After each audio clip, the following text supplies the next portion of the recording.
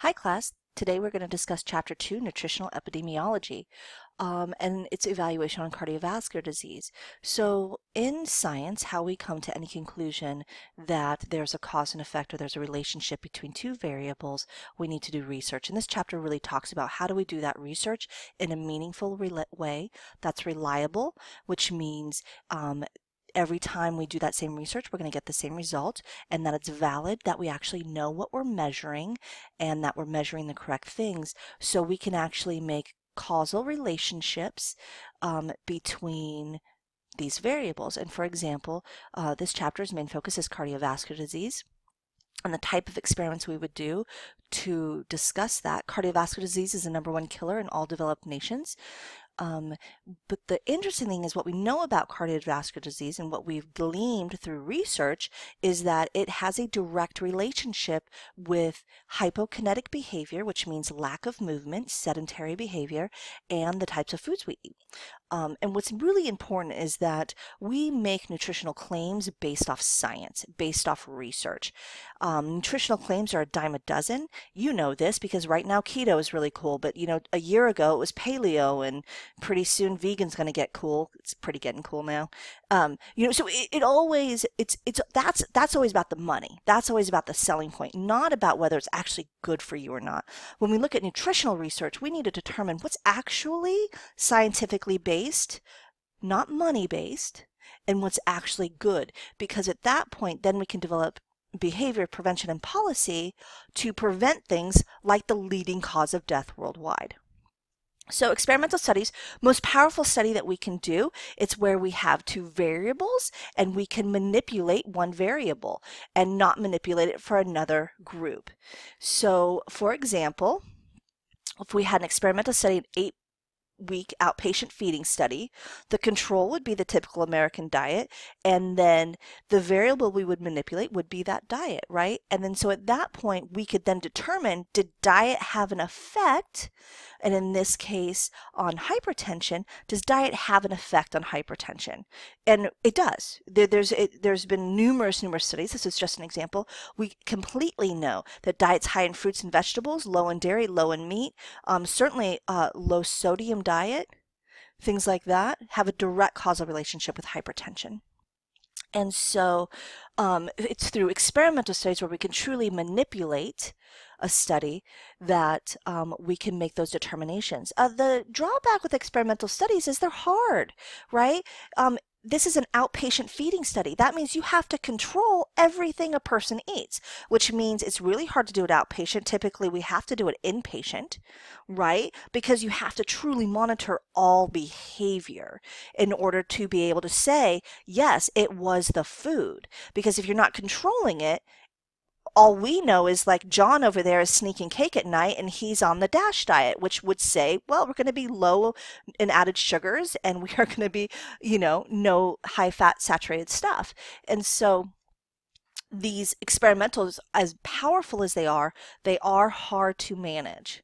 Now we go to observational studies. These are really nice because they're a snapshot in time, right? We're just basically observing the population. Cross-sectional makes it really nice because we can evaluate multiple populations right? This is really helpful for when we want to ask a question. A hypothesis, a lot of times we think that's a question. A hypothesis is really a statement.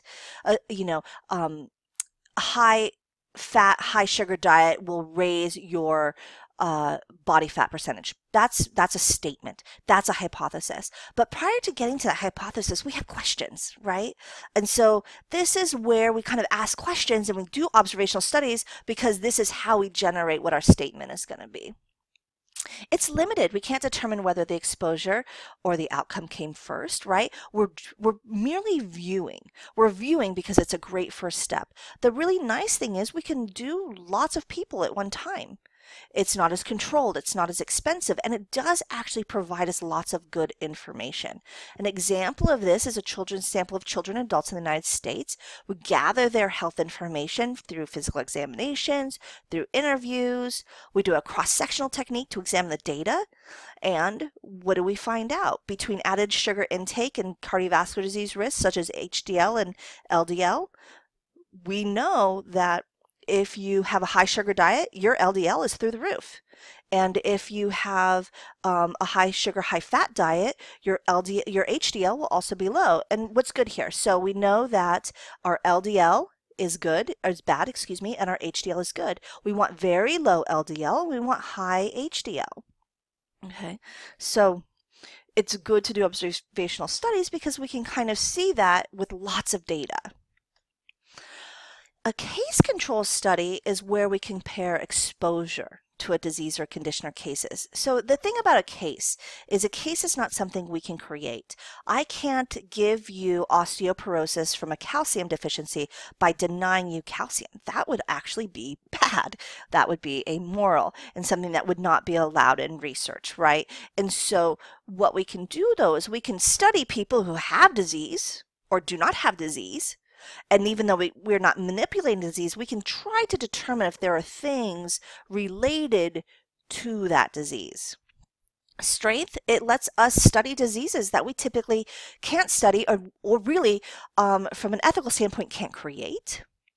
Um, and then allows us to kind of see uh, what could be some causal factors or what what relationships could exist. And when I say causal factors and relationships, I should piece that out a little bit more.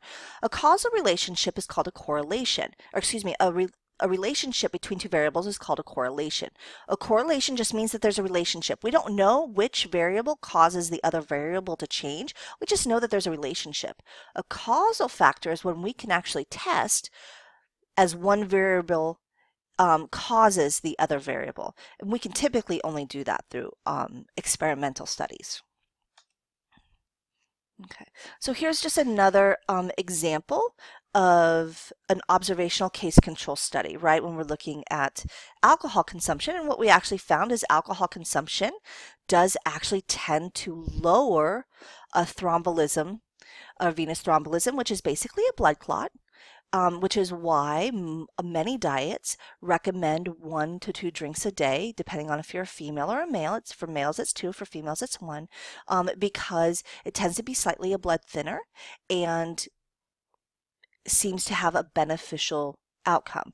Now, the research does not suggest you should start drinking if you don't drink, but it does suggest that a little alcohol tends to be healthy. So um, a cohort study is where you get a group of people um, that's very specific and you follow those participants over time. Um, these also can be considered longitudinal studies because of the over time, over the longevity of the study. Um, what's really nice about this is you can study um, as we age, you can study continual behavior.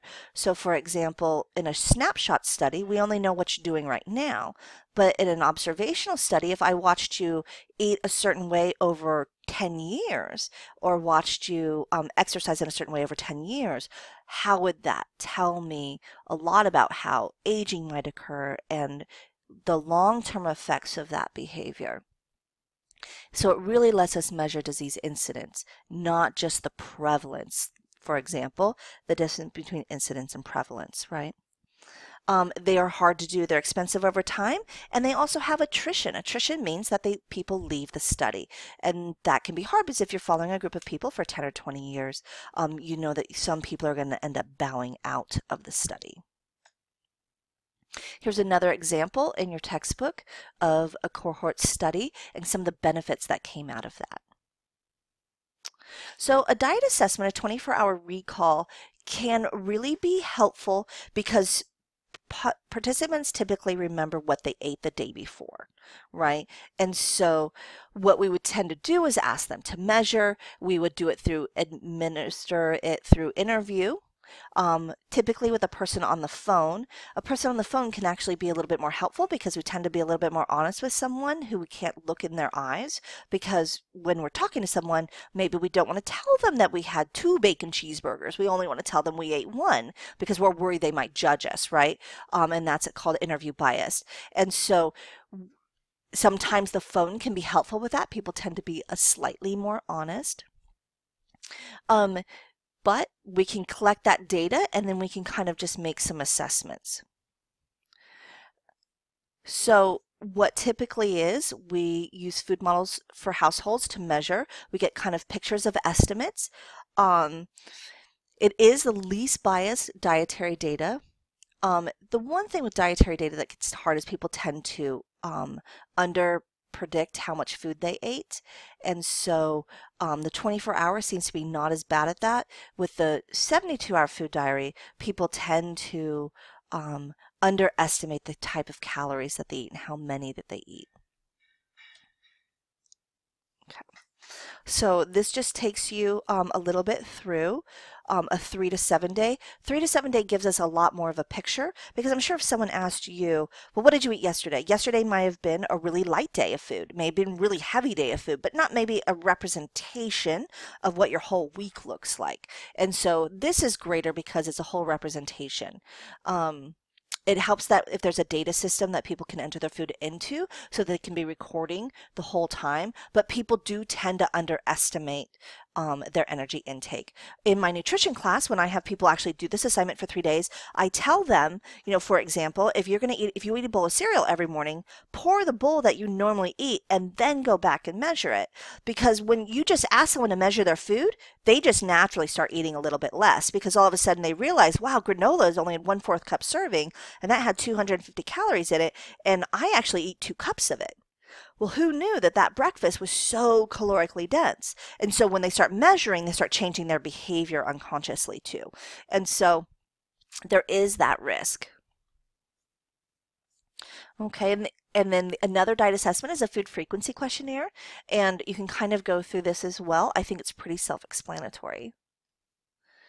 Um, and the diet history, again, using that three day food record and that 24 hour recall, um, can be structured. Um, it is used quite a bit and can be pretty helpful. Um, some of the problems with measurement error, and you do need to know these, observer bias, when the interviewer is not accurate in measuring or reporting participants' responses.